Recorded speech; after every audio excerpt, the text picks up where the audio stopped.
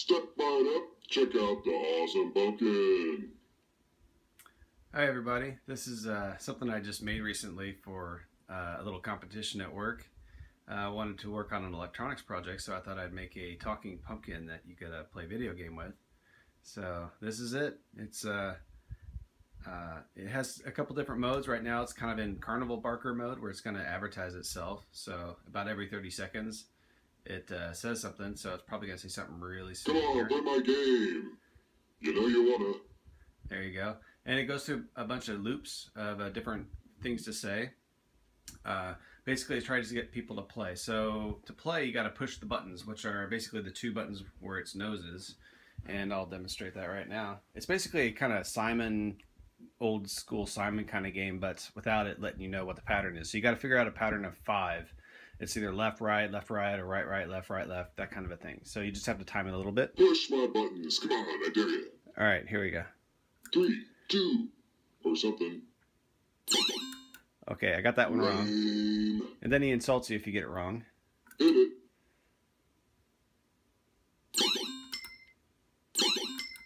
Two in a row. Three in a row, right. Oh, okay. You suck.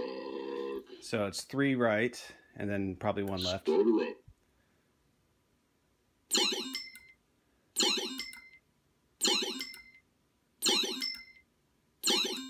Okay. You should be ashamed of yourself. I know I am. Okay. Engage.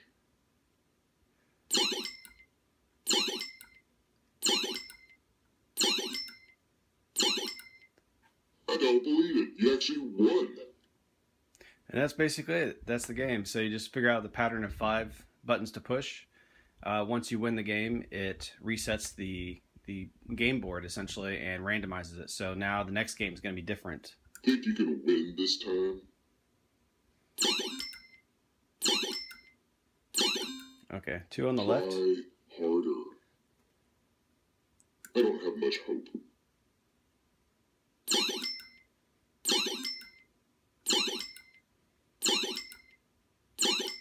Right, got I lucky. bet you feel really proud about yourself right now. All right, I've taken the lid off and uh, unplugged him because he can be annoying after a while. Uh, I just wanted to show you the insides and basically how this is made. It's pretty simple um, if you have any experience with Arduinos and, and some uh, embedded electronics kinds of stuff. But uh, I'll just go through the, all the major components here and just kind of describe how it works. So on the front we have these uh, little LED matrices. These are made by Adafruit and these are the 8x8 uh, dual or bicolor LED matrix uh, components, and they're they're really nice. Um, I'll just take one off here. So basically, it has a nice uh, microchip on the back that drives all the LEDs, and it only has four pins: one power, one ground, a clock, and a data pin. And it communicates over I squared C. So if you're familiar with I squared C, it's it's a really nice protocol that you can use to um, to communicate to multiple devices without having to run tons and tons of wires everywhere. So I've got two of these. Both of them are on the same I squared C channel, so they can, and they basically have the same address, so they work identically. So I don't have to treat the two eyes differently; they're the same thing. That way, um, when the eyes look left, they both look left, and if they they both move right, the same. So they're um, synced up with each other. Works out great. Uh, powered it off of a a 10 amp hour battery. So, and I, I had this running for a couple hours and it didn't even come off the first battery meter bar. So it, uh, it's still, still pretty topped off. This thing doesn't use much energy at all. So internally, it kind of looks like a rat's nest, doesn't it? It's, but it's not too bad actually. Mostly all these wires are about the four per each eye. I'll just pull this one out. Here's one that goes to this eye, the other one to the other eye. And then there's there's two wires down here per button, the power and the ground. And that's it for wiring. Well, actually, I'll take it back. There's there's two more wires that go to this other board. So effectively, there's two Arduinos in this box. This one here is running all of the logic. This is basically the whole game and everything. Um, it just doesn't play sound because there's no, this has no sound card. Essentially, these are so small, they just, that's a specialty thing. But this one here is an Arduino with a sound, the wave shield made by Adafruit as well.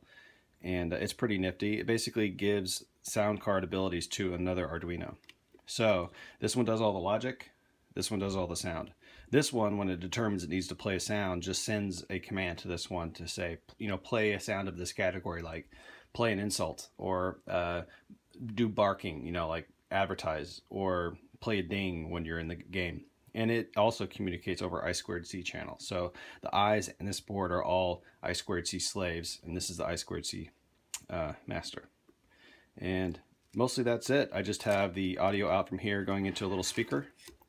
This one has its own battery, so I didn't have to uh, run it off the other battery.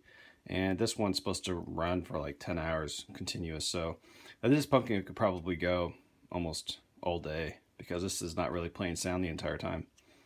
Uh, I haven't tested it, but I probably won't. I'll just, I'll probably after this video just tear this thing down because this pumpkin's not gonna last forever.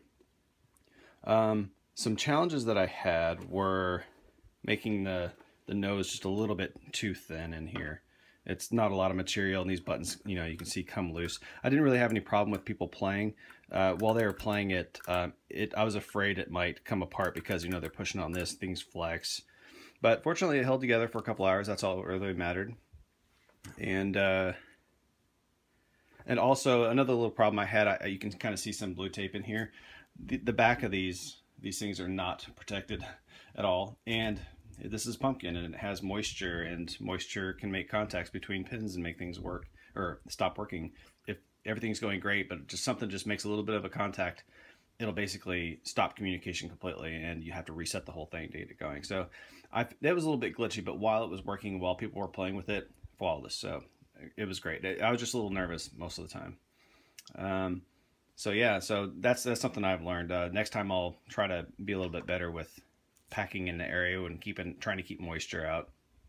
Um, I'm not too too worried about getting these wet, um, just as long as they're not operating wet. I mean, you could I could take this right now, just dunk it in water and let it sit there overnight, and it'd be okay the next day, just as long as I dried it out. There's not really anything complicated on here that would soak up moisture um, at all. So I think that's it. Um, I just have this little little plastic piece right here that I printed on my 3D printer this plastic is just a Voronoi um, pattern that I that I found on Thingiverse. I only put it in here just because it kind of kept the electronics up high and kept them out of line of sight because the mouth is quite large, and I want I didn't want them to see all the the guts behind there quite as easily. Uh, also, the, the, the teeth here these are all 3D printed as well, and uh, yep, I found all the 3D printed models that I needed and stuff on Thingiverse as well. Great resource, and I think that's about it. So hope you enjoyed this.